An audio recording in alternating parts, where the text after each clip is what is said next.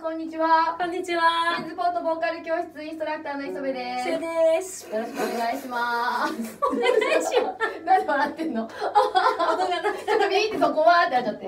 よくレッスン中もこうさ、はげ、なんかいいよいいよ、パーンとかってなっちゃうよね。そうなっちゃうよね。なっちゃうんですよ。そうそうそう。さあ、さて、はいえっ、と、はい無事ですね。一応6月からミューズボードボーカル教室はレッスンを対面で再開しておりますけれども、はい。せっかく始めたお家でボイトレシリーズなので、はい。あのたまには少しずつ私たちのできる範囲で配信していければなと思います。はい。で今日はですね、えー、と母音で歌唱してみよはい。うです、はいよくあのお芝居の方とかセリフを母音だけで喋るとかっていうのがあると思うんですけども歌のレッスンの時にも、えー、とあいうえおだけを歌詞のあいうえおだけを抜き出して歌うっていうのは結構やります、えー、と効果としてはですね、えー、と子音がやっぱりついてるとそこの子音ありきでどうしても音の響きがこう狭まったりとか喉が締まりやすかったりっていう風に最初から子音母音がくっついた歌詞で歌うとちょっとこう歌声としては、えー、と狭いかな響きが狭いかなっていうことがあります。でそういった時は一度子音を取っ払ってあいうえお母音だけを抜き出して歌ってあげることであいうえおは基本的にはまあ喉が開きやすい5つの言葉なのでそこで息の流れをしっかりこう確認してあのラインを整えてから少し子音を乗せて歌ってあげるってやると結構皆さんあのたおやかな歌声に変わるかなと思いますので。やってみたいと思います。はい。はい。それでは、えー、と今日はあの皆さんよく知ってると思います。中島みゆきさんの「イットはい。をちょっとあいうえおで歌ってみたいと思うのでそして先生にちょっとやってもらいたいと思います。ちょっとノー練習でいきなりちょっとお願いしてるんですけれども、あいうえおの形は、えー、ともちろんハキハキ歌う時にあいうえお見えてるかな？あいうえおに、まあ、横にも縦にも開いてよくハキハキ喋りましょうってなると思うんですけど基本的にまず歌う時は縦を意識してほしいのであいおえおここの幅があまり変わらないの分かりますか？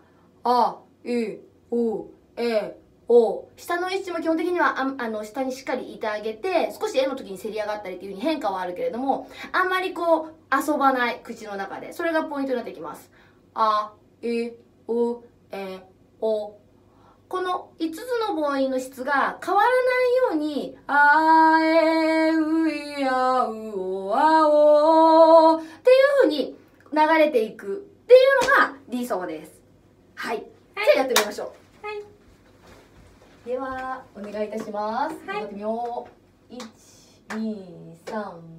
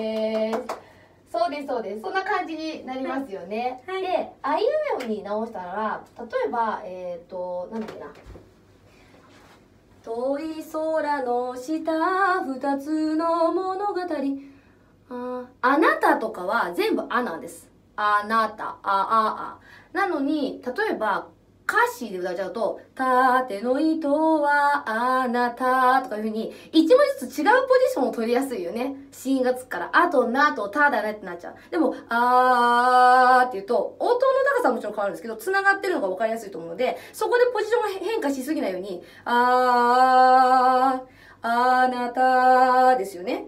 っていうふうに、えっ、と、ちょっとムラになってる場所とかに気づいてあげられるといいかなと思います。で、あとは、えっ、と、最後、なんだっけな。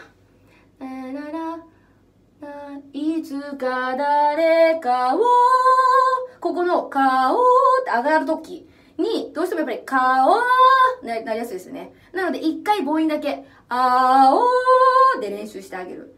そこでうまく言えたなと思ったら、そこに少し芯を、顔っていう風に応用してあげると、うまく歌えるようになると思うので、やってみてください。はい。ありがとうございました。はいかがですかね。はい。はいじゃあ皆さんまた教室でも、い。YouTube でもお会いしましょう。お会いしましょう。ありがとうございました。ありがとうございました。